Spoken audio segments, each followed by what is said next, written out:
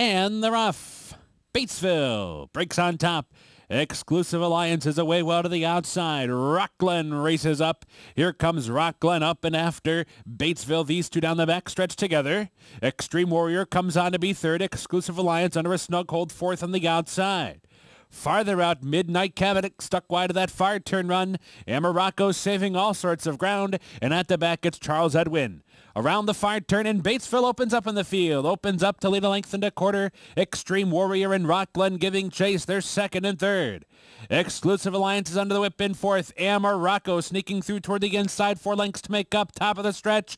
Batesville comes off the turn. Slim lead. Here comes Rockglen. Rockglen running after Batesville. Batesville digs in. Rockglen. Charles Edwins kicking in on the far outside. Up into third. 70 yards to go. Rockglen got the jump though. And Rockglen kicks away to win by two and a half.